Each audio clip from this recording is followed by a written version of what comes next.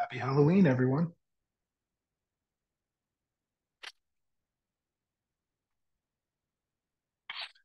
Nice costume. Thanks. Thanks. Uh, my my wife put me up to it.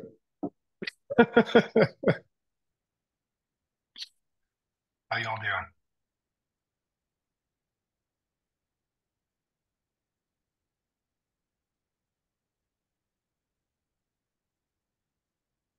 The temperatures start dropping there, uh, David. Uh, we reached freezing today. Uh, so we were at uh, 32, zero Celsius, and yeah, it's starting to get a little frosty. Um, it's up to a balmy 38 degrees Fahrenheit right now. Yeah. How about uh how about Texas? Uh, we've been bouncing around between the 40s and the 80s.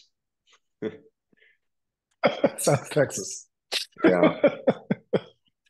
46 I right now. all It's going to be in the 80s later this week. So,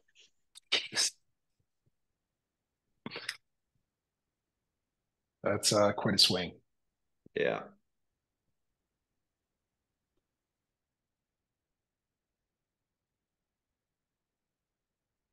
All right, we'll get started at like five past the hour. Um, anybody like to moderate today, or any volunteers for note taking?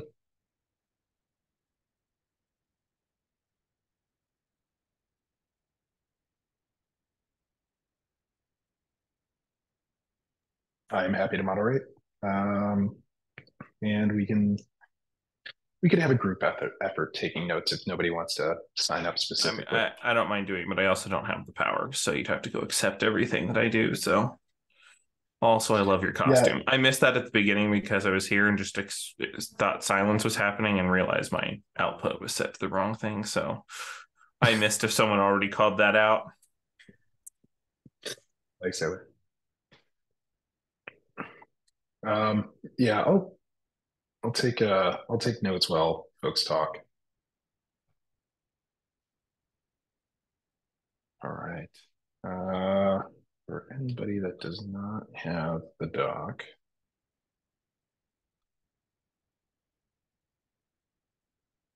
throw it in chat.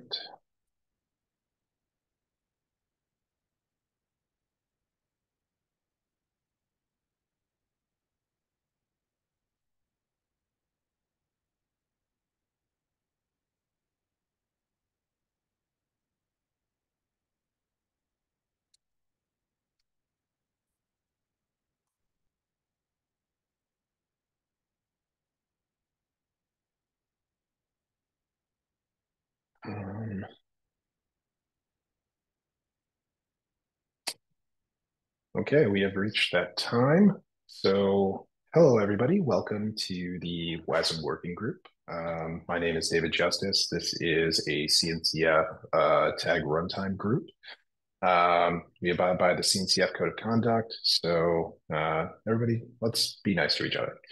And uh, wish everybody a very happy uh, Halloween. Um, if if y'all are celebrating in any way, uh, should be fun. Hopefully, it's a safe one for everybody. Um, and uh, today we have a relatively short agenda. We have two items to cover today.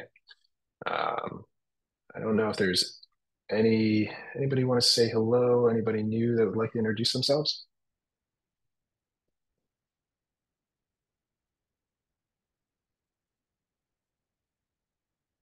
All right, going once, going twice, and the gavel falls.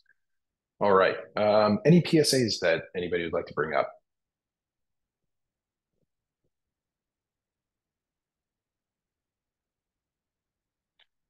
All right, I don't have any. Um, so let's just uh, continue to uh, the agenda. I think most of my stuff Okay. will be in the component model overview because anything that's new and exciting. Um, so yeah, that'll be we can do that. And we've been doing a little bit of the anything else people have heard about in WebAssembly thing anyway. So we can talk about that too at the end. Cool, cool, cool, cool. All right, let's jump in. Um, our first agenda item today is a project called Run WASI. Um, Jorge, uh, do you want to do you want to do it? I I'm happy to if you don't want to, uh, but I don't want to put you on the spot. I I didn't prepare anything. I wasn't aware that we were talking about this today. Sorry. No worries. But uh, I'm happy to Okay. uh, comment on things. All right. Uh, how about I go through an overview, um, and then please fill in where you'd like, and let's uh, let's chat from there. All right. So let me add a link to the notes here so everybody can jump out to it. All right. So RunWASI is a containerd project that uh, was started. When did we start that? Um, I, I don't want to go back through, but probably like, I don't know, uh, eight months ago or something like that.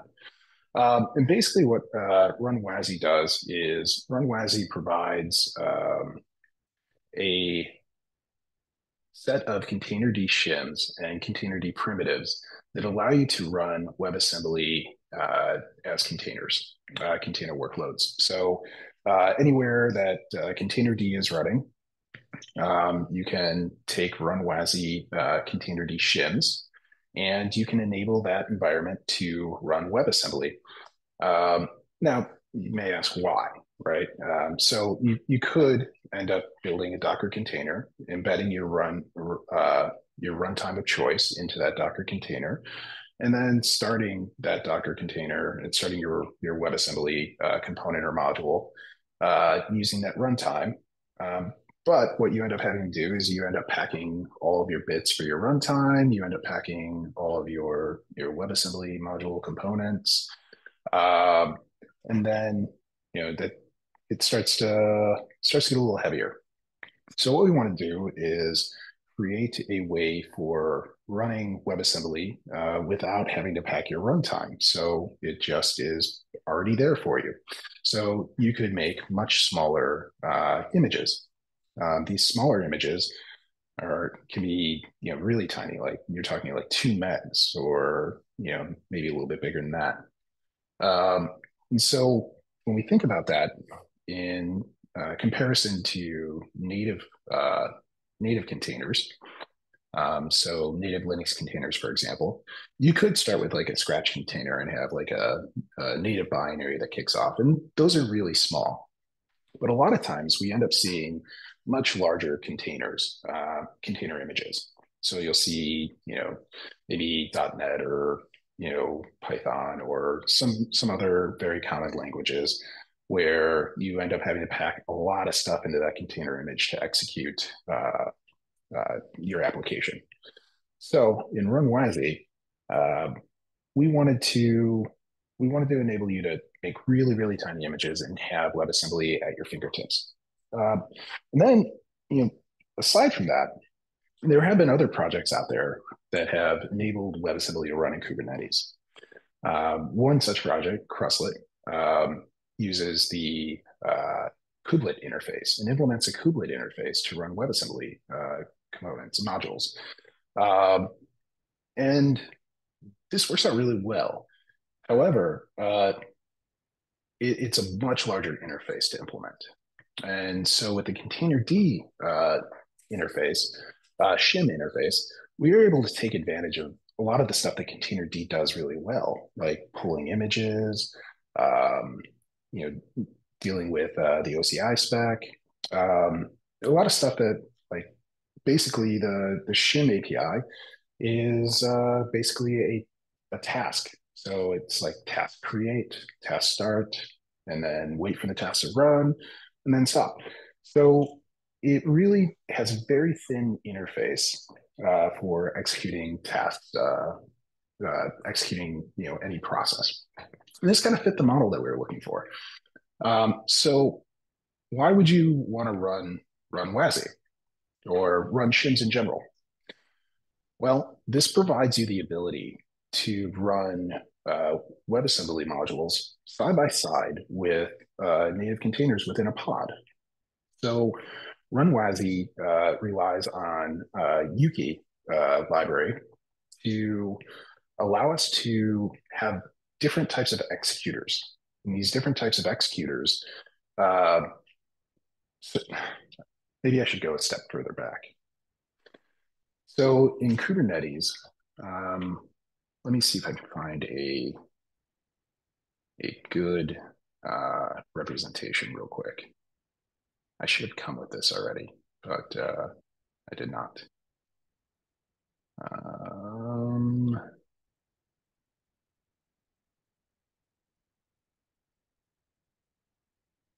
sorry.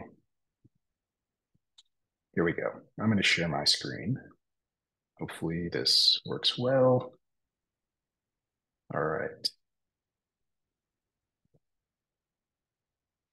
All right, can everybody see my screen?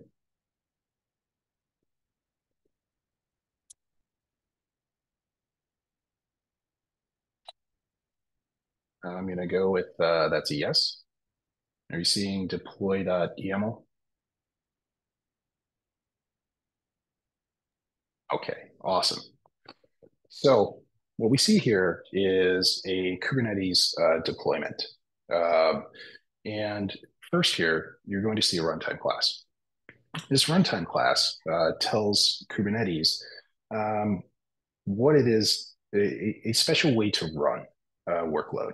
So um, when Kubernetes uh, sees something coming with this runtime class, it's going to then tell containerd, hey, the handler for this is named, you know, whatever.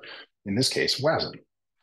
So um, that ends up mapping to the containerd runtime that gets executed. So instead of say runc, we're going to then go hand off to whatever we've configured to be named WASM in the containerd configuration. Uh, so in this case, uh, this runtime class uh, translates to run WAS, WASM and ends up, it's not exactly the most clear, but it actually translates over to Wasmtime. So uh, as we look at the deployment here, we see that we have a regular deployment, uh, looks just like any app you've probably ever made and uh, is the spec for uh, the pod uh, has a runtime class in it. And we've used that same WASM runtime class here. So that instructs uh, containerd when it receives it to map it to the handler for WASM. And then these containers run uh, within the same pod next to each other. You notice, you'll see WASI demo app. This is a uh, container image that uh, contains a WebAssembly module. Um, and then Nginx is our good old Nginx that uh, runs a native uh, container image. So these two are able to play nicely together to run within the same pod, share the same networking namespace, and uh, be able to communicate with each other. This enables uh, some really fun stories. Uh, you know, for example, you know, running a service mesh uh, where you would like to, you know, augment uh, your container with another container that's going to route traffic for you.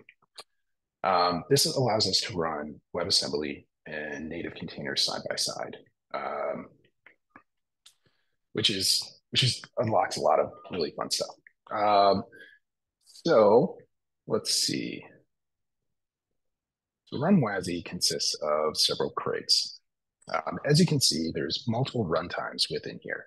We have Wasmtime, WASMer, uh, WasmEdge, and then some base uh, crates that we use. Um, so for example, Shim WASM ends up doing some uh, base work for each one of these uh, runtimes.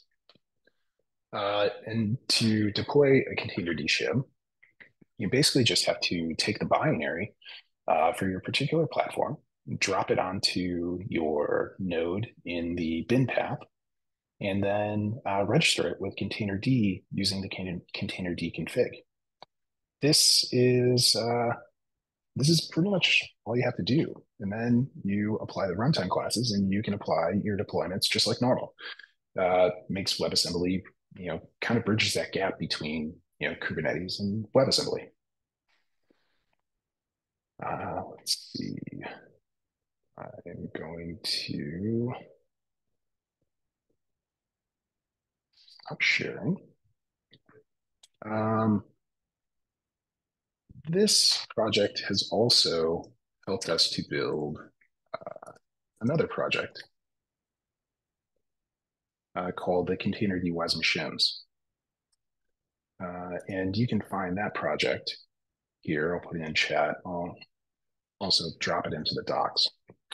So this project takes a slightly more higher level approach um, and uses uh, more opinionated uh, you know, runtime app environments. Uh, so most of them are based on uh, Wasmtime as the runtime, but then provide higher level uh, application abstractions. So uh, perhaps other interfaces that are implemented by the host to provide uh, more functionality. So you'll see like Spin, the WASI Worker Server, and Lunatic. Um, these, I think with the component model talk that we're going to have after this, um, we'll we'll start to see how these interfaces can become a little bit more useful and start talking about uh, component interface definitions. Um, yeah, so any questions about Run WASI, about how it works? Um, I mean, I get how I get how it works. Oh, sorry, who'd I interrupt? I didn't mean to interrupt. Was that you? Uh, no, I was gonna uh, just actually, I I didn't give uh, Jorge a chance to uh, add. Please. Yeah, no, I thank you, David, for the introduction. I think uh, it's um, a very good description of Run WASI. Uh, I I would just add um, some uh, minor things. Um, one of the ideas of uh, having um, not including your runtime and making this an WebAssembly specific image is that it would be the I'm not sure it is at the moment, but the the goal is to make this uh, really uh, you can run anywhere. Anywhere uh, so the same image you can run it on uh, x86 or, or windows uh, with our on arm or RISC-V or any architecture you want. Um, so uh, if you if you're bundling your runtime, that's going to be uh, an executable that's platform dependent and it's architecture architecture dependent. So with uh, WebAssembly, all the promise of write one uh, write once and run anywhere, uh, we want to achieve that as well. Um, um, the other thing uh, I wanted to measure is that we are already uh, specifically uh, there's James uh, from the project that's putting a lot of effort into running WebAssembly containers natively on Windows. so you can run WebAssembly images in Windows without requiring uh, the system for Linux or a VM or anything like that. Um, so that I, I, that's something that I'm really excited about. Uh, it would remove a, a, lot of unnecessary overhead, and also what it provides is you're running a WebAssembly sandbox inside of a container. So you have two layers of security for the code that you're running. So even if you escape your WebAssembly sandbox, you are still into a container sandbox and and you you, you will have to escape those two layers to get, gain access to a host. Um, I think that's those are the main things that uh, I wanted to uh, stress. Thank you for bringing out the arch- architectural independence. that, that's actually quite key and, and something that uh, I, I was remiss in not mentioning. Uh, this also gets down to your container images too. So when we start talking about architectural independence, when you start thinking about container images, every container image you, you make is uh, has an architecture and OS that was targeting, right? So um, you have your platform, your your platform that it targets. Uh, well, you want to be able to make images that are not platform dependent, so you can pull them anywhere and then lay them out and execute them uh, independently. And this is uh, part of the work that's going on around uh, Run WASI as well. Uh, so figuring out uh, and, and working with the community to define images and how we structure images so that we can execute apps um, architecturally in OS independent ways. Uh, so that, I think that's going to be really nice if you can go and deploy out to Kubernetes or anywhere else and not really worry about like where you're landing. As long as you have uh, the shim, the runtime available to you, you now are able to execute across uh, a heterogeneous fleet of computers, which is, I, I think, pretty cool.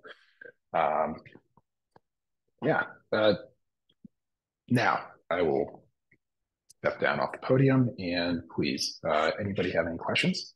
Yes, I have two um, I, that I was thinking of. Oh, Luke, Luke, go ahead. You can go. I I can be patient. Sure. Um, one, one was just about just basic plumbing in the deploy.yaml that, that when you're screen sharing. Maybe if you pulled it up, I could ask like a question just about a particular line number.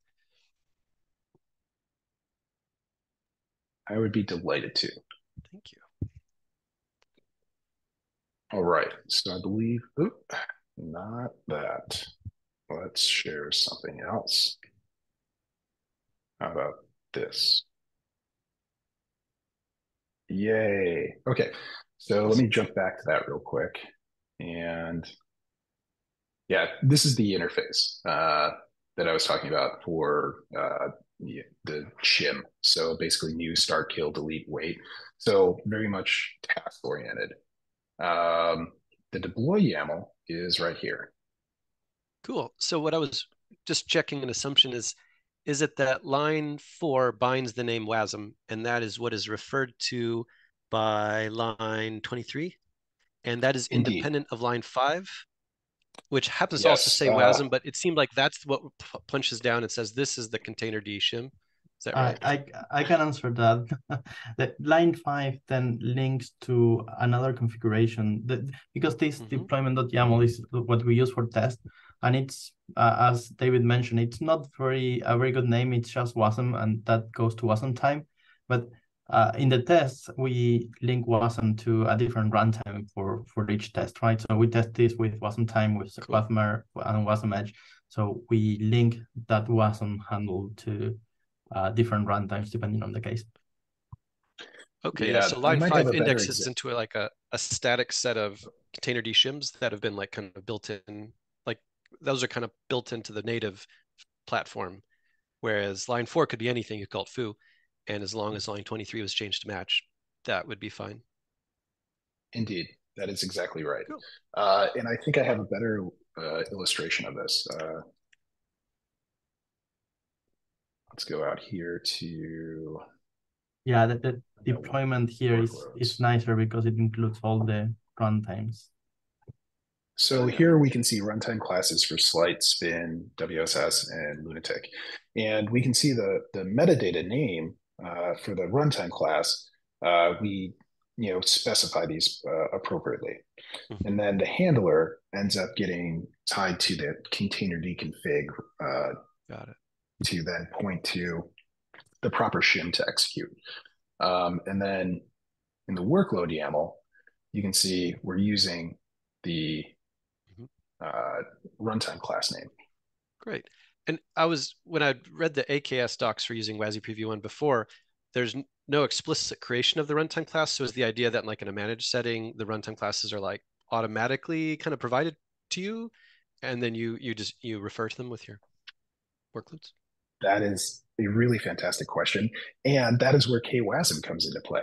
So uh, KWASM, uh, what we're what we've been working on in KWASM, well, really uh, mostly uh, Sven and uh, Christoph of Liquid Reply have been working on KWASM. And KWASM is meant to be an operator that you can run within your cluster that you could tell it, uh, it- it's basically a lifecycle uh, manager for shims, uh, containerd shims. And so uh, what KWASM does is, uh, what it, it's going to do is it has a CRD, a uh, custom resource definition that describes a shim, uh, where you could fetch it, uh, how it should be installed, and then the runtime class name that you would like it to have, as well as I think handler name as well. So um, say you apply a CRD that describes that shim and installation and maybe some labels for nodes that you want it to deploy to. That would then take that, run a job on each of those nodes to install that shim, and then it would apply a runtime class handler config uh, for it, so that all of that is is taken care of for a Kubernetes user. Um, that that is going to be that, that's kind of like that finishing touch. And what we did in AKS is we pre-baked images with uh, you know these shims already installed in the path, and then uh, we did the mutations to the container config and then applied the runtime classes for the user. Really, what we'd like to do is have a a way that anybody can do it outside, like it, it, we don't want it behind the wall. We want to put this out into the community so that anybody can can do this stuff. So if you're a cluster operator using managed Kubernetes, you have these two separate axes. You can control your set of runtime classes, uh, you know, your your native your the shims that are like the native code, and then orthogonally you can you know deploy your different WASM workloads. And the key that links them together is this string, this runtime class string, and that's KWASM helps you with the former, and then yeah, that's yeah, that's that's nice. It was a really pretty uh, generalized uh, architecture. I think it'll be really neat when we when all the pieces start to come together. Thanks for questions. Thank yeah. You. So, uh, David, my follow up question, I have a follow up question. That was actually one of my original questions I had to ask. Uh, I had listed the wrote down as we were, you were talking. Um, so, like, I, I was just wondering. This is the uh, I've operated far too many Kubernetes things coming out of me right now. Um, how do you? Uh, how does someone who like, let's say you have a user who's who's interested in trying out WebAssembly with Kubernetes, and how do they get to like configure their kubelet? And so it sounds like KWASM goes that direction, but it still sounds like you need an admin to be able to like install that who has the permissions to do the uh to do all those things. Is there is there any future here where you don't have to be an admin to configure this and try and and try these things out um, within like a cluster? Interesting. Um, I hadn't thought about it too much. Do you, do you have any ideas on how you'd like to see that work? I, I don't know how like technologically speaking i can't think of one right now that's why i was asking um, i would think i'm just thinking of having worked with a bunch of, of people that deployed you know aks clusters when i was at microsoft or working with other companies that have it they're they're actually fairly locked down and the thing that most people have access to are like a namespace they don't have access to like go install a controller that can install runtime classes that can do things like that and so i was just curious if there was any thinking being done there because I know that there's many people who will want to try it, or even teams, you know, as WebAssembly continues to grow. And and I, I wanted, I just was curious if there were any options there. And if it's not, like we, this is all new. This isn't like a criticism. This is just more like I'm curious if there's any thinking there, um, because I know it's a common thing for people to run into um, out in the wild. Uh, would they have access to a privileged container? Possibly, it just depends. Like I said, it's it's it's yeah. varied depending on on where you're at. Yeah, I, I hear you. Um, huh. That's a tough one because, you know, to make this work with containerd, we have to get the bins onto the machine. And generally, the machine is probably the most locked down.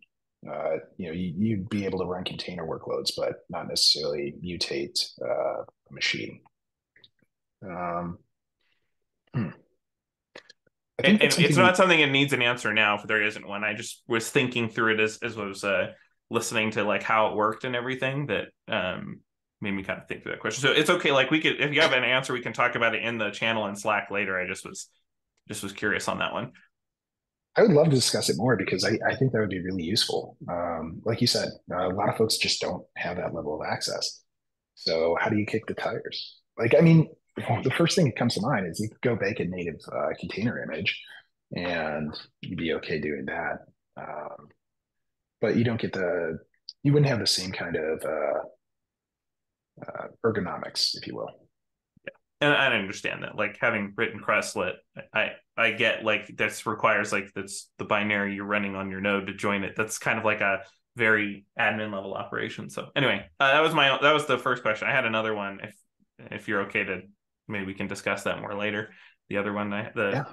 okay, so the other one I had is I, I I always like to ask this question of when should someone use something like runwasi in the container shims versus when they should just use the runtimes themselves? I mean, there's the obvious answer well, if you're in Kubernetes, I get that, but is there is there anything else that like you have like advice when people come in and say that since we're using these as kind of like the discovery mechanism for people?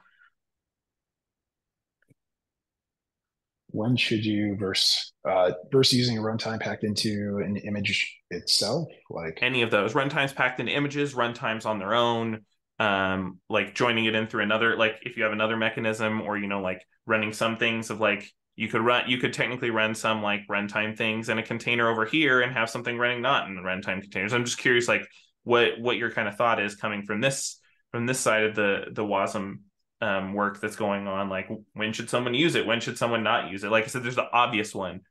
If, if you're in Kubernetes, sure makes sense. But like beyond that, there's I'm just curious if there's any other use cases you you've thought of or or, or ideas you Oh, have like oh, when you should interesting. or shouldn't, interesting. or if it should Um, never be used outside, or if it's primarily Kubernetes and nothing else. Like I I I'm just do this is the I'm trying to play the the dumb asking I don't know have context. Like I think I have answers, but I'm just trying to make sure we have recorded this for posterity so people know like if they come watch it like hey oh that's why this this or this is when you should use it like that was kind of the idea when we started scheduling these like overviews of of uh cncf wasm projects Awesome.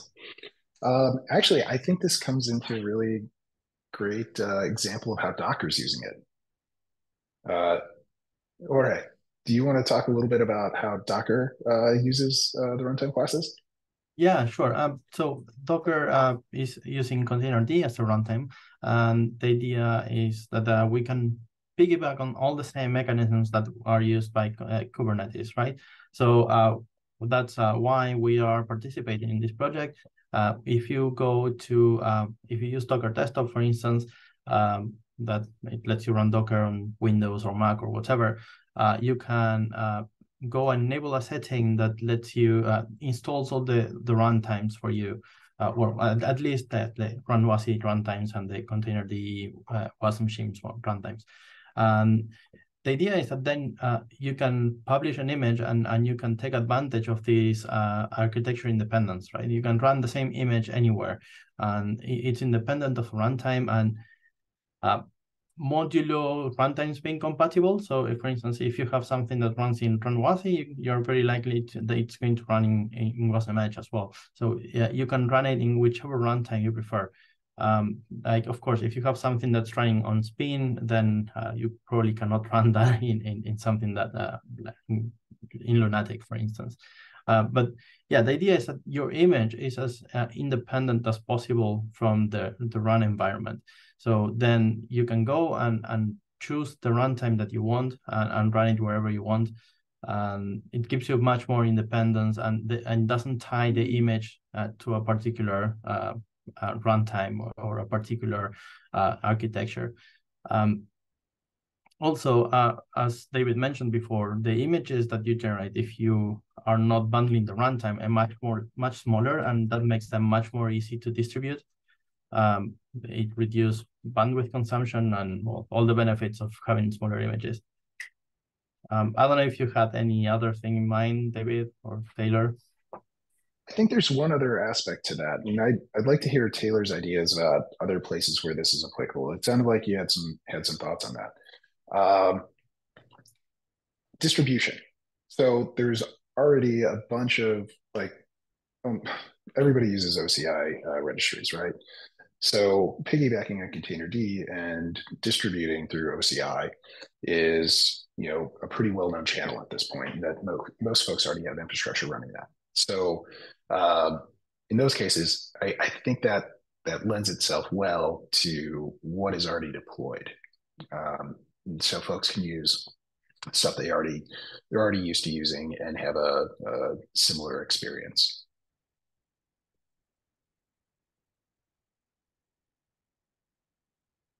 Luke? I was wondering, um, let's say I want to develop a component and like I kind of don't care the specific runtime I'm using. I just care that it faithfully implements, let's say, some WASI standardized world, say WASI HP proxy or WASI Cloud Core.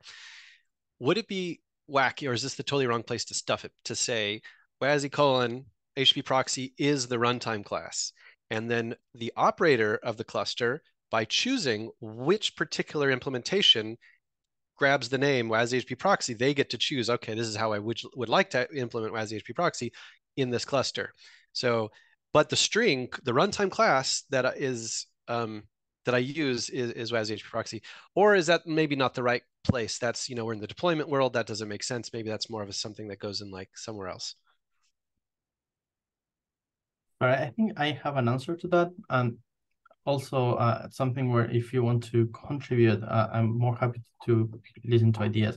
But um, we're moving. Um, so the way we've been using OCI uh, until now is we're putting a WebAssembly module in the rootfs, and that's not great for a number of reasons. And we are trying to move away from that. So um, from now on, uh, the idea is that we're going to start looking at the platform that you define for your image. So if you say, uh, of course, your architecture is going to be WASM 32, uh, maybe in the future it's WASM 64, and also uh, then that's architecture, but then you have an OS field, and that OS would be uh, currently uh, we are thinking it would be WASI Preview 1 or WASI Preview 2. And then there's also more fields in that platform. Uh, and one of them, for instance, are features that your OS can, needs to have. And what we, one of the uh, proposed things uh, that we were thinking is uh, we could use that feature to enumerate the number of worlds or components that you need to have. So um, you are uh, WASI, uh, we are WASM 32, WASI Preview 2, and then uh, you need a, a CLI world uh, as a feature of your runtime. Um, you wouldn't be specifying that on the deployment of, of your Kubernetes. That would be uh, something that's specified on the image that's, that you want to run. Mm -hmm. And then if you want to run an image in a in, in, in an environment that doesn't have a runtime that provides all those things, uh, then you wouldn't be able to allocate it to any runtime. But, um, that that's what we have in mind, but that's uh, very fresh off the oven, and I, it's still evolving, and we are more than open to listen to suggestions or ideas. Yeah, well, that's probably a whole own discussion topic of its own. Yeah. So maybe I won't go. that is that is a can of worms because I definitely want to like I want to have that conversation too. Jorge, I've been thinking about the um a lot of the how what role OCI plays in this, especially because unfortunately I'm also a maintainer of the Rust OCI crate. So yeah, woohoo! Uh, and um but like I I'm I'm curious on the thoughts there because I've had some similar ideas and I'd like to maybe on the side just kind of reconcile where where we're both thinking out there. But yeah, I that is a very big can of worms. I am not going to continue any further opening um right now. uh, I'm sure James has something to say because he has been uh, the main driver of all a lot of these changes. James yes. or Waldo? or Oddlaw. Oddlaw is the uh uh, his arch nemesis. So um, no, so I think th- one of the other conversations was around um, using features in the OS and the things in the image, and um, D would be able to select the runtime based off of that information um, that that's provided inside the image. So it's it's similar to along what you're you're what uh, Jorge and Luke were just mentioning. But right now, containerd doesn't do that type of thing, but there is some want inside the Containerd community to to make that kind of decision based off the OS uh, image. Um, and so, yeah, so definitely. And I think, Luke, the, the way that you described it, I think, uh, you know, an operator like of a Kubernetes cluster could absolutely do kind of what you were describing, um, if if that's how they wanted to design it. Um, but I but I think if we push it lower into the stack, it might even be uh, a little bit simpler for for folks to to design that type of thing. So. All right. Um, I think that is a great discussion topic. Uh, we should put it on the calendar and we should definitely talk about it. But we are at time check, I think. And in fact, I am remiss because I've let us go over. Um, sorry, I, I love this conversation. Uh, how about we uh, transition over to component model if, if folks are interested? I mean, I sure hope right. people are interested. That's where we're all going, hopefully. So Anyway, um, I'm just heading this out just to start to give some context, but I really want anyone who's been involved in this to kind of have the um, ability to like add some additional information here. I feel like the the worst person to do this right now because Luke and Bailey are both here, but I'm gonna sure do do my bestest. Um, and so uh, I just wanted to do this. Um, I suggested this topic uh, like about a month ago because I figured going into KubeCon next week, I wanted all of us to get kind of like uh, shared context around where components are at, where preview two is at, like how things are going, so people can understand that. And when people come and ask us at our booths at the at KubeCon, we can give good answers and not give answers that are like uh, like slightly off or slightly like I, I want to make sure like us as a community can be answering this really well because people are going to have questions. So um, I just wanted to share. I'm going to link this. Going to share my screen real quick. Um, there is a roadmap that uh, Bailey has been driving for a long time. I think there's going to be updated one soon with the rest of the Bytecode Alliance. Um, Bailey wrote the post, that's why it's on there. And um, I will go ahead and pull that up. I can share just the tab. Well, I guess that's what we're going to do. So anyway, um, this is the like road. There's a there's a video that shows the whole roadmap, and there's this idea of like a three tiered roadmap that's going on here. We have stuff that's going on in core WASM, um, and then there's the component model itself. And you'll see like that this is because this is a couple months old. You can see that things are going along like component naming and versioning exists if you've been following along our resource and handle types. Um, and then we have these like core WASI interfaces. Now, one of the things that um, they're voting on to make official, but I think is is fairly well received, is renaming WASI from WebAssembly Standard Interface to to um, or WebAssembly System Interfaces to st- uh, WebAssembly Standard Interfaces. They're going to have an official vote on that in the in the um, steering uh, steering group or whatever the committee um, this week but that's what um, a lot of these things are moving towards. So anyway, I was just showing this off. You guys can read the whole. Anyone can read the whole uh, um, blog here for what's going on. But there's there's just the the three main things that are that are being worked on. WASI itself, which is a set of uh, specific interfaces. There's the component model, which that's pretty much landed. We have resources, we have handles. Um, and that's what I mentioned, where all of these things landed, and we're all gonna like this is one of the last big breaking things that, was landing before preview two inside of WASI. Um, and then, um, yeah, right here. This is the this is the big thing about it being like the collection of interfaces. And so there's the CLI world, which has a bunch of like very important things like sockets and random and poll and IO, those kind of things you'd expect, and then an HTTP proxy. So these two things are kind of the big things that have to standardize um, before preview two that are almost there question mark i'm pretty sure they're they're bailey can uh, drop any comments there for things that i am i am wrong on dates but um, there's there's a couple important things right now. Um, the rough date for when people are shooting for for um, uh, very close. Yeah, perfect. Yeah. So shoot. So the the date that, that is being um that is being targeted right now is end of November, beginning of December ish. Um, like I said, those can move. This is not anything official. Um, around the component uh component one, basically WASI preview two being being stable. Uh, now, something really important, yeah, there and Bailey's calling that. We need two. There's the community needs two implementations for it to be considered like stable, and Wasmtime is almost there, and then Jco, um, which is uh, the JavaScript uh, based um, based runtime as well. Those things have to be um, in place and and implemented. Um, and there's other people like we've talked about before. WasmEdge is trying to implement a lot of these things. So we're just making sure people have implementations in place uh, as a community. And um, Bailey linked the the Jco stuff. Someone should probably take notes because I am definitely not taking notes right now. Um, thanks, thanks, David. Um, and so uh, the one key point that I wanted to, I was talking to Bailey before I, I, came and gave this information to make sure I was I was on track.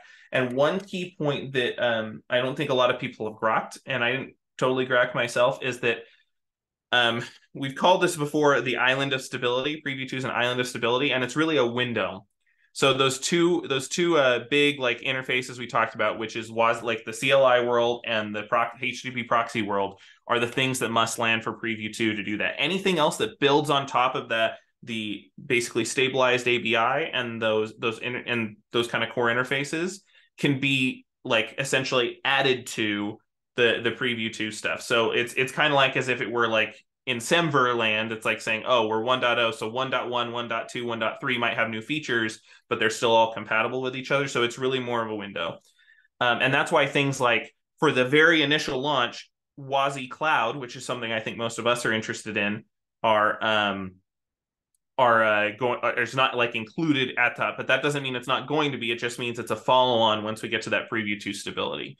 Um, so anyway, that's kind of the high level thing of where we're at. Um, what this means is that everyone will start being able to use these interfaces and be able to interop with each other.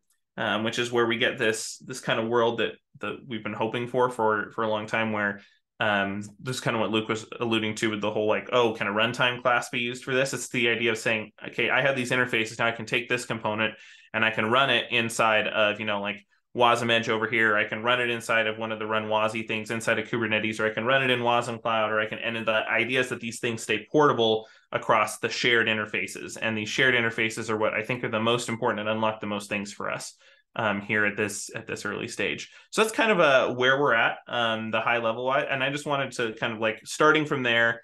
Obviously, Luke and Bailey can add and or correct anything I have said incorrect but also like just hear from other people who are involved in the space right now if there's anything they want to add about oh like oh yeah i'm working on this and this is what i'm excited about all those kind of things i just want to try to capture as much of that um as possible coming into here. But like the idea is preview 2 will not be landed by kubecon. So like that's okay. That's we we're in the kubernetes space so everybody thinks things have to land by kubecon. It is okay that it doesn't in my opinion. Um and that it will be towards the end of November, beginning of December, where where this starts to stabilize, and then we really start to see that explosion of things because we're not going to have interfaces changing out from underneath us. So anyway, I'm not sure if anyone else wants to share other information they have around like the component model things they've experiences they've had either integrating with it or or uh, putting stuff up. I can share what we've done with wasmCloud, but I've been talking for a bit, so I don't want to keep talking. I want to make sure other people have a chance to talk.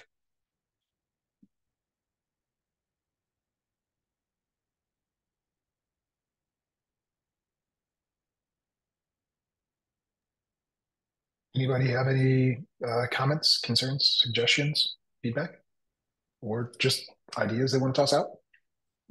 Yeah, I'm very excited with Preview 2 getting stabilized. I think that there's a lot of um, that's going to be the enabler for a lot of uh, further development and people start tinkering with it.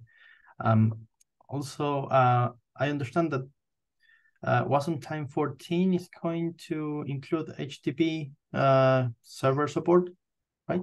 Uh, I think it's server support, and then Wasm, yeah, Wasmtime 14 is released. Wasmtime 15 is the current target for the preview 2 stabilization. So um, there's going to be a few more breaking changes between 14 to 15. Um, but the the whole reason 14 was released was to get out the latest stuff that's out there, including like resources and all of those different things um, I was mentioning, so that they're there and landed. And for those of us who are on bleeding edge, which is most of us here, we can like start to play with those those things and kind of put it in. Bailey, did you want to clarify anything there? I noticed you came on off of.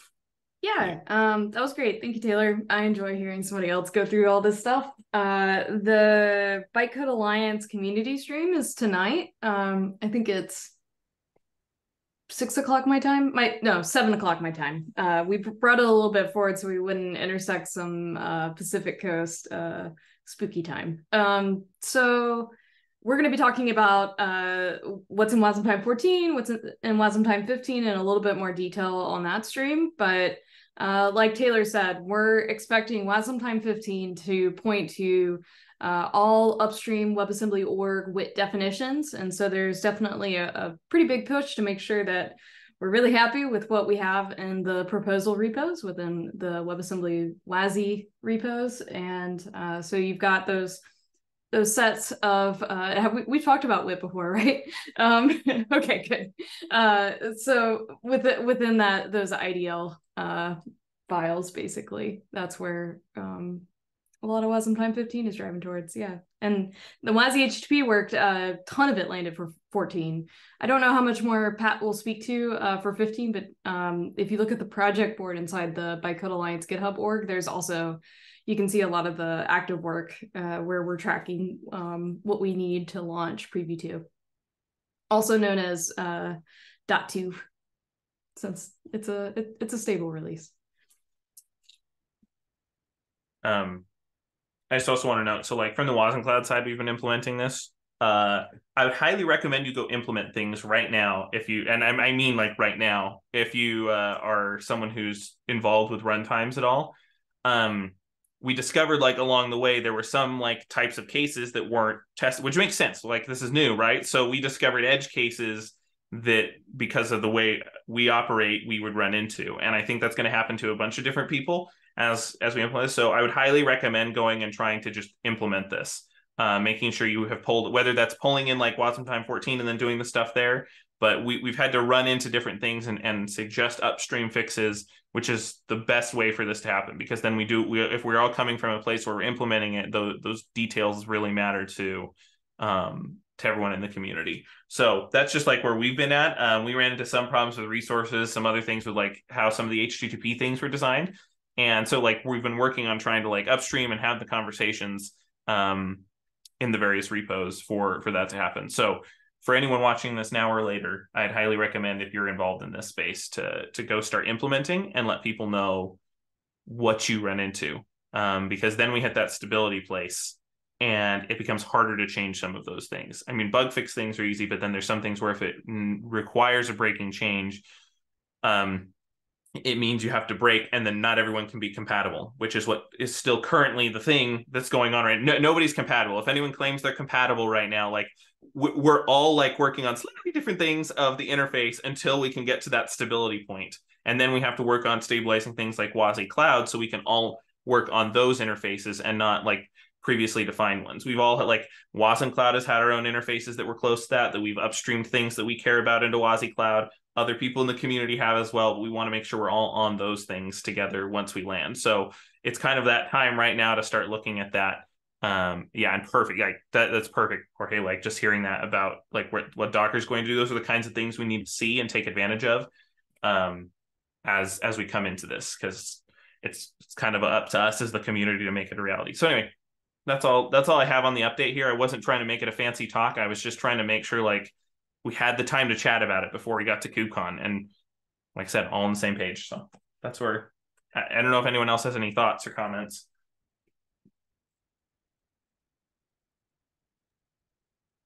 I just gotta say plus one to stability.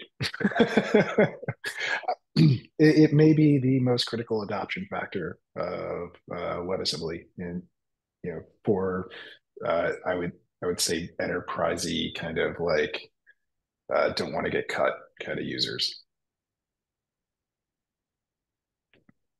It's really great work. It's so cool. It's so close and so excited for it. Um, anyway, as we're wrapping up here, David, I was just wondering, we had question marks on the agenda for next week. So I was wondering if we wanted to, um, I think Bailey definitely has some connections to like some of the WAMR folks, if we want to get them to come present about like what WAMR is and its goals are. Um, as a runtime. Um, and we can also reach out to the Wazero folks. I think a couple of us have connections to the Wazero folks here. Um, have you have you already done WasmEdge here? Uh, David, we did when I wasn't here, right? At some point before I joined. Yeah, it's earlier in the docs. Michael came in and, and talked about it. Yeah, WasmEdge is on, um, on the list too. We wanted to come have and talk about the component implementation, and maybe that could be a little bit more important given how close the component model is. Um, yeah, they they uh, Michael had given an update uh, to the WASI subgroup, uh, which is the name of the uh, basically like a working group uh, equivalent for the W3C WebAssembly community group, and uh, it was really great. but they had just started their component model work, and I would love an update of that. I thought that was really interesting. I think WAMR should be on the same track too. Um, um so uh you who wants to reach out to Michael and then um Bailey, do you mind pinging the WAMR folks since I think you probably know them the best of the group here and seeing if they'd be willing to present about like the runtime and how it works and everything? Yeah, happy to. Um, at least for WAMR, I think they were um, they were definitely in the learning phase. We did uh, Luke and I did several sessions with them um, which was a blast. We got some really good material out of that that we could put in books and explainers and all that kind of stuff. Um, I don't know if their work is, is actually underway yet. They were definitely in the camp of needing uh, stability because they have a lot of enterprise users. Uh, so that's like one of their big focus points. But totally, yeah, I'll reach out to them. Um, would love to hear if they've gotten started on that yet. I mean, I'd be curious either way because I don't think many people um, I don't I don't think many people have like looked into many things outside of you know like kind of like most of us are using Wasmtime. So it'd be really interesting just to hear I think from someone working like because we have WasmEdge that does some of it, and then WAMR does some of these like really small use cases. So I think it might be good to have, even if, um, even if they're not all the way there, because then we can hear what hear it from the horse's mouth essentially. Um, I'm happy to reach to Michael if you want.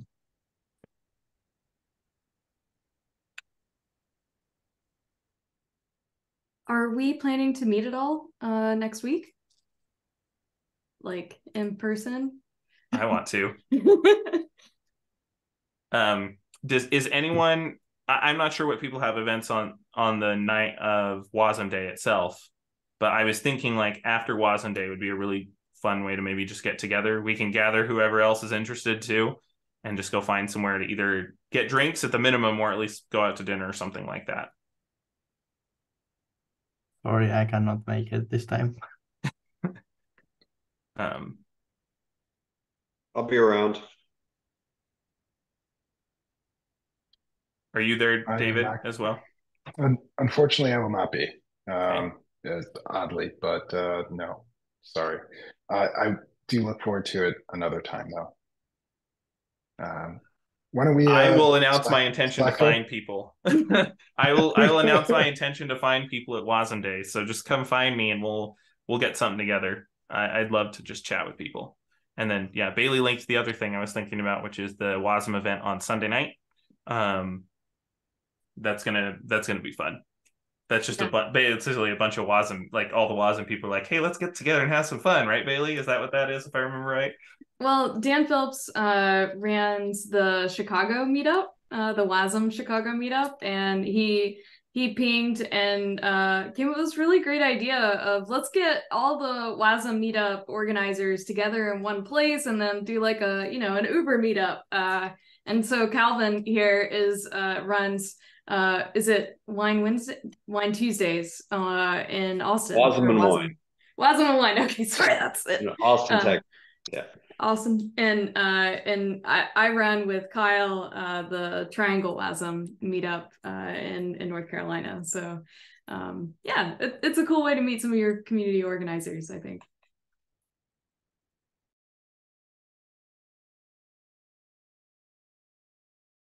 Awesome. Well, that sounds like a lot of fun, and I'm I'm totally envious. Um, there is no green in this, but uh, not much. Uh, but it would turn green. Um, so hey, anything else we want to cover? I think we're at time. All right, going once, going twice. Uh, wonderful discussion. We have a couple of action items, and I thank you all so very much for your wonderful input.